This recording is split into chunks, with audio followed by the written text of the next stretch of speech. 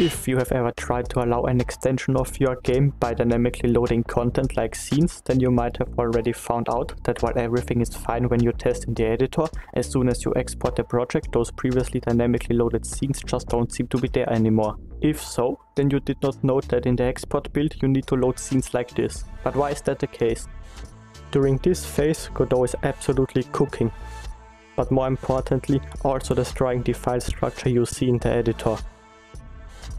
But hold up a second. Actually, this is not 100% true. It technically doesn't destroy the structure, it more or less only translates it in into an after export structure.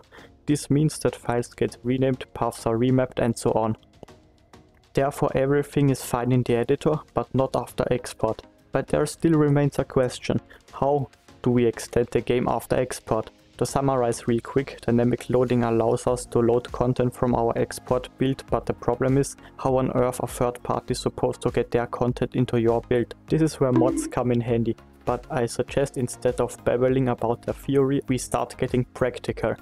First of all, we need our base game, which is obviously the game you will export in the first place, and let's quickly start with a menu scene. That's everything I have for now. No code, no music, no Sleep Till Brooklyn, just plain good old control nodes. And now it's coding time.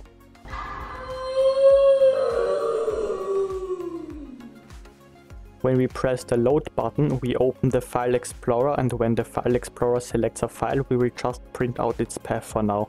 Furthermore, I will do a bit of parsing and extract the file name with extension and the file name without extension from the path. And now already comes the magical line, load resource pack, which will try to load the file from the path and append it to all of your resources, optionally overwriting already existent ones. And now we are already skipping one vital step, namely communication between mod maker and base game developer. You see, one cannot simply make mods for anything without knowing the system or limitations first. Therefore, the mod maker needs information on how to integrate mods with your game. In my example here, we assume that I, as the manager of the base game, provided the following information to the mod makers. When loading a mod, the game will extract mod name from the path, which to be honest is kinda ugly, but for now it will work. And then I will try to load an initializer scene, which is within a folder labeled after the mod name and add it as a child to the main scene, which again is ugly, but this is just to show you the basics. 99% of mod making and systems need to be customized for your game anyways. This is just a quick and simple possibility. Talking about possibilities. Fun fact, did you know that apparently the game Factorio is only a mod loader and the whole game is implemented as a mod? But now back to us. Now we create another project which will later be exported as our mod.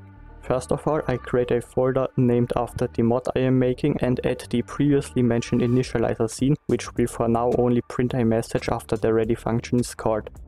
We then go to export our project, select the build template and only export pck zip. When we now go back to our base game and try to load the exported mod, we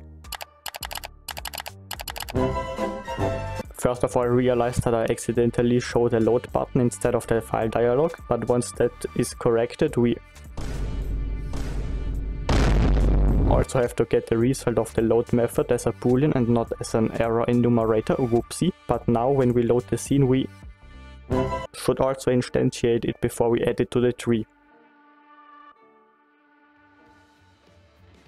Congratulations on your first mod by the way. One interesting thing I found is, assuming I add an autoload in my base game which has a say hello method, I can reference it from my mod even though it is not yet known to the mod itself. Funnily enough, you can also export it with this error and it will work perfectly fine when the mod is loaded.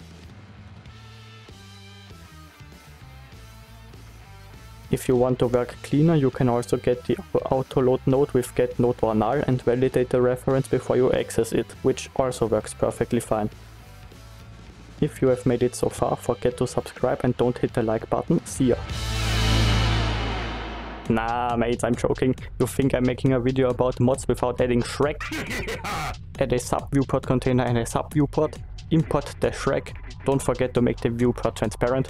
Invade the main scene and export.